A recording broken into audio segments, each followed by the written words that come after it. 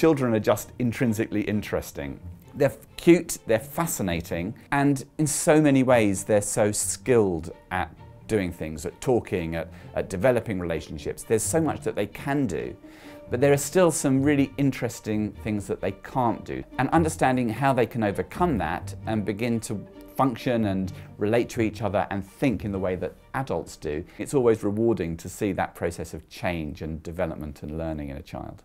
All our um, academic staff here have active research links, almost always international research links, and quite often our students will go for internships or placement opportunities um, in research labs internationally as well. So there's a whole host of things and possibilities that come from having such a strong research base to what we do and such a clear link between research and teaching in our ethos.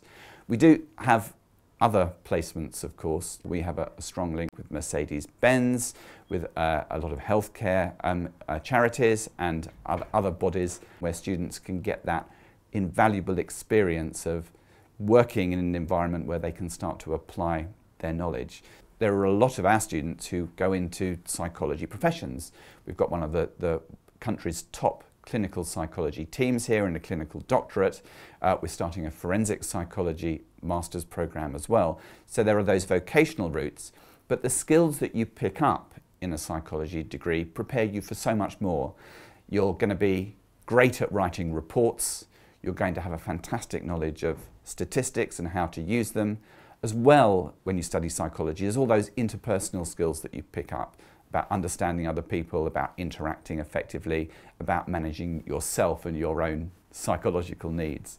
So it's a really useful degree, but of course it's intrinsically fascinating too.